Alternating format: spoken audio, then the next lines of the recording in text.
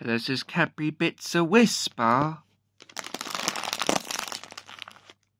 says actually Cadbury buses. That's it.